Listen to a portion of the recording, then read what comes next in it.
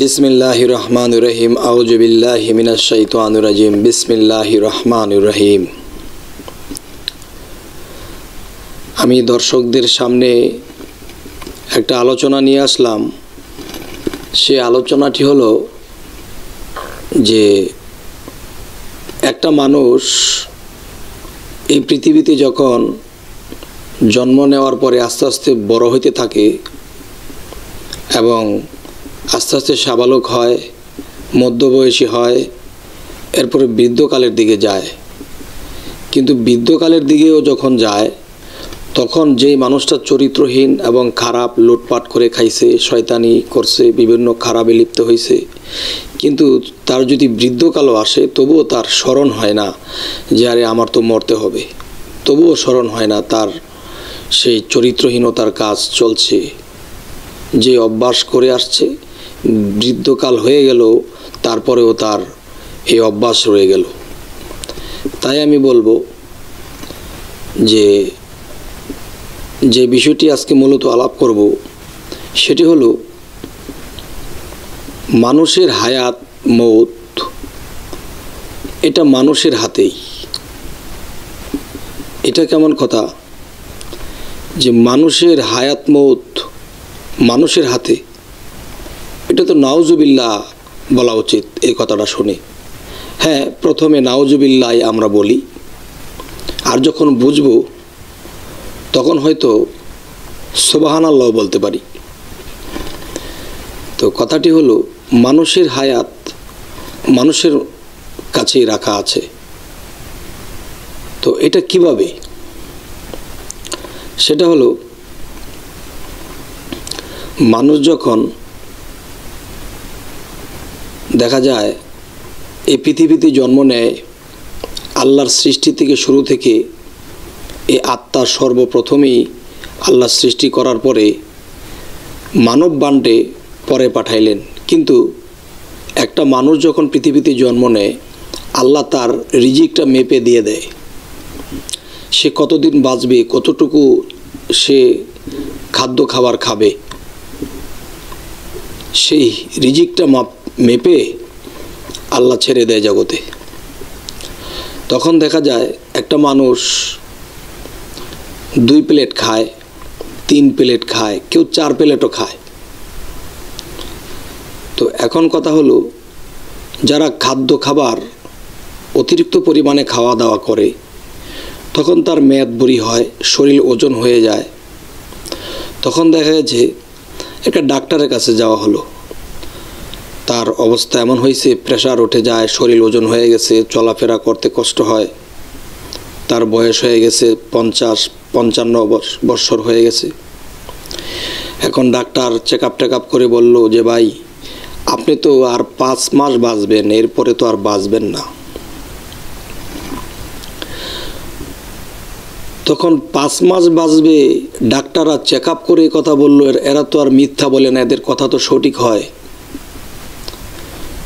তখন সে অনেক ধনবান, অনেক টাকা পয়সা তার কমতি নেই, ভালোই চলে সংসারে, ভালোই খাওয়া দাওয়া করে। আজকে আরামে থেকে থেকে ভালো মন্দ খাওয়া দাওয়া করতে করতে শরীর এমন ওজন হয়েছে, এমন অবস্থা হয়েছে, এখন চর্বি জমে গেছে, কখন স্ট্রোক করে বলা যায় না।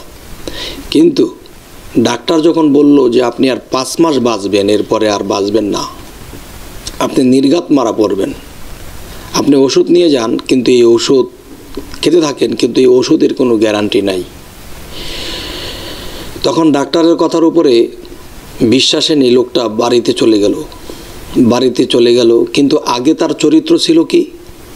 আগে তার চরিত্র ছিল ওই ইমুকে আমার থেকে বড় লোক হয়ে যাবে, তাকে ড্যামেজ করে দেওয়া দরকার। তার সম্পদ কিছু আমার আয়ত্তে নিয়ে আসব। ইমুকের মেয়েটা বড় হয়েছে এই যে ভালো জায়গায় বিবাহ না দিতে পারে বা ভালো কোনো ধনবান জামাইয়ের কাছে যদি বিয়া শাদি দেয়, তাহলে আমার থেকে সে ধনবান হয়ে যাবে।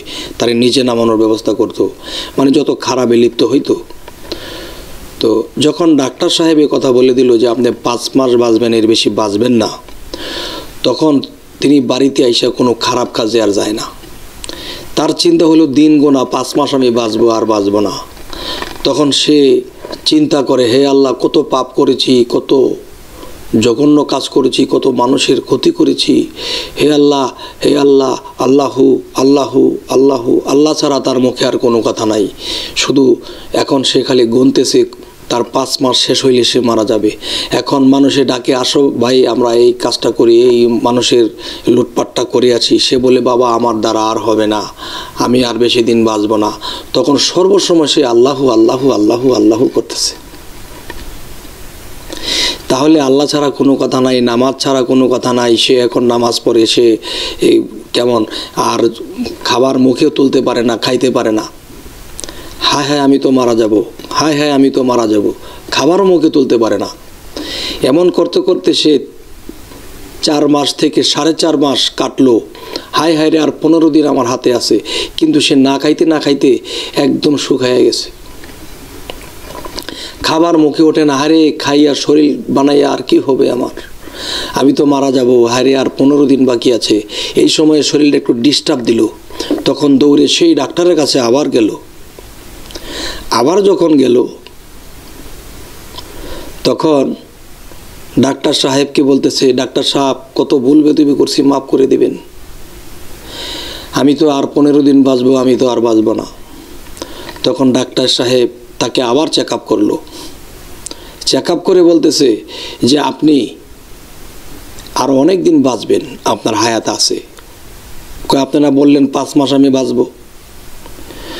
তখন ডাক্তার সাহেব বলল, দেখেন, আপনি বিভিন্ন খারাপে লিপ্ত হয়েছিলেন এবং দেখা গেছে আপনি যে যে হারে খাবার খাদ্য খাইতেন, এতে আপনার মধ্যে, আপনার দেহের মধ্যে চর্বি হইতে হইতে আপনার রক্ত চলাচলের জায়গাগুলো বন্ধ হয়ে গেছিল।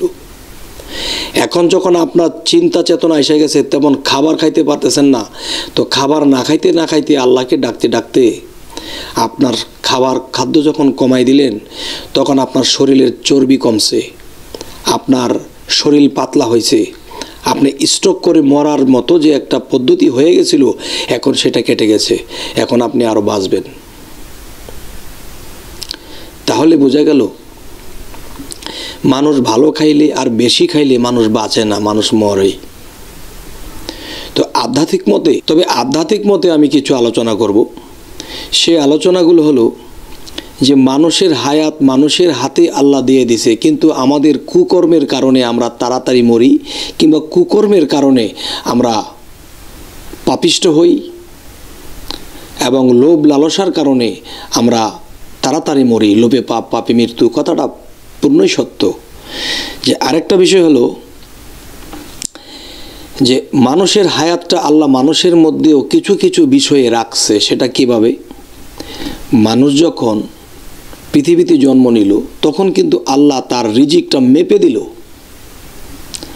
মেপে দিল কি? যে সে ষাট বৎসরের হায়াত নিয়ে আসছে আল্লাহর কাছ থেকে, কেউ সত্তর বৎসরের হায়াত নিয়ে আসছে। এখন দেখা গেছে যেই লোকটা সত্তর বছর হায়াত নিয়ে আসলো, সেই লোকটা পৃথিবীতে এসে কখনো দুই প্লেট ভাত খায় নাই।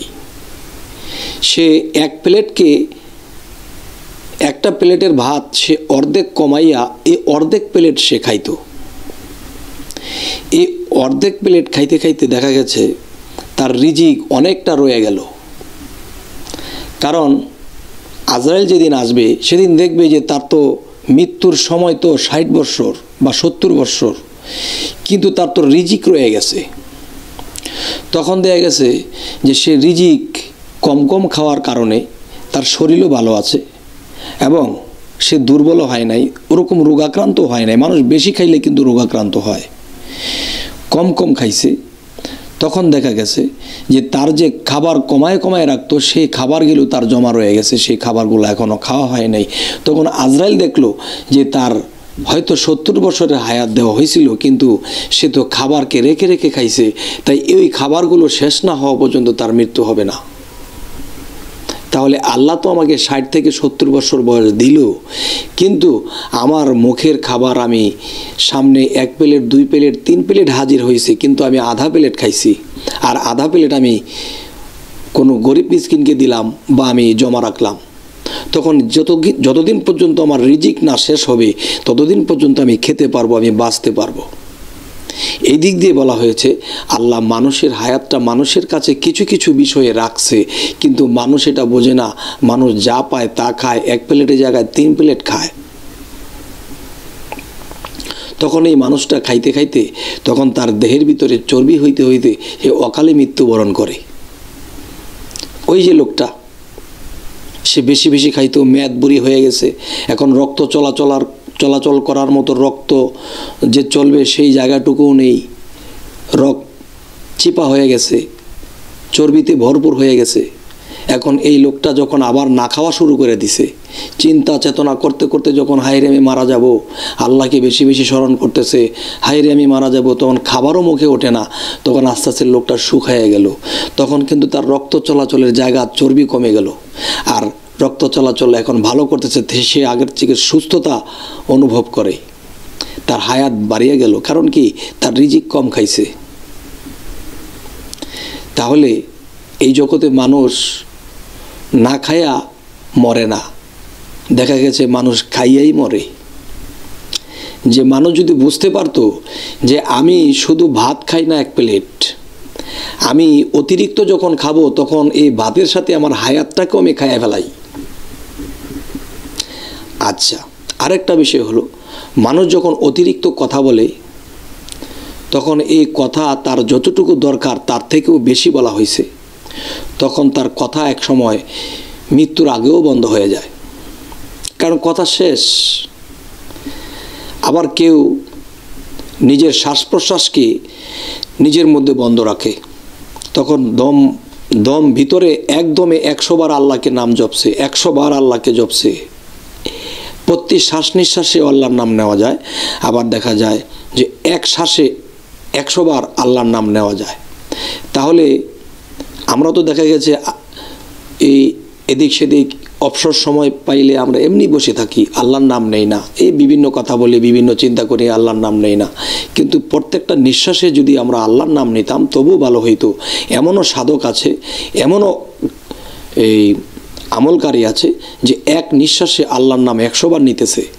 তাহলে তার নামের ভাগটা বাড়িয়ে আসছে এবং তার দমের ভাগটা কমে আসছে। এখানেই একজন কবি বলেছেন, একজন সাধক বলেছেন, গন্তিতে যার হবে কমতি, সেই হবে রে মানুষ রতন।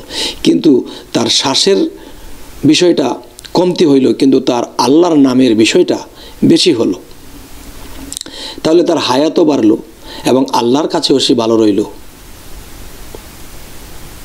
তাহলে আজকে যে প্রসঙ্গটি কথা বলা হলো, যে মানুষ যখন অতিরিক্ত কথা বলে, অতিরিক্ত খাদ্য খাবার খায় এবং অতিরিক্ত কোনো কিছু অপচয় বেশি করে, যেমন একদল লোক আছে, তারা নারীর কাছে বেশি যায়।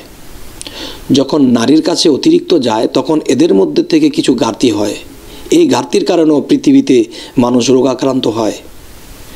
এটাও সীমিত, আল্লাহ সব জিনিসের সীমিতভাবে ব্যবহার করার জন্য দেওয়া হয়েছে। কোরআনে আসছে, আমি তোমাদের স্ত্রীদেরকে আমি হালাল করেছি, আর তোমরা সে হালাল বা হিসাব মতে যাও। আল্লাহ এটাও বলেছে, আমার চন্দ্র, সূর্য, নক্ষত্র, গ্রহ, তারা সমস্ত কিছু হিসেব মতো চলে। তোমরা মানুষ শ্রেষ্ঠ জাতি, তোমরাও হিসেব মতো চলো। যদি হিসেব মতো চলো, তাহলে তোমাদের হায়াত দীর্ঘ হবে। ব্রেন শক্তি ভালো থাকবে, শরীর সুস্থ থাকবে, তোমরা আল্লাহকে ডাকতে পারবে। তাহলে আমরা অতিরিক্ত পাই, অতিরিক্ত খাই, অতিরিক্ত নারীর দিকে লিপসা করে যাই। তখন দেখা গেছে একদিন আমার হায়াত থাকতেই আমি মরিয়া যাই। তাই এই কথাগুলো আমার বলার ইচ্ছা জাগলো, আমি এই কথাগুলো আমার ইচ্ছা পোষণ করলাম, আমার ইচ্ছাটা আমি দর্শকদেরকে জানাইলাম। জানি না আপনাদের এই কথাগুলো কেমন লেগেছে।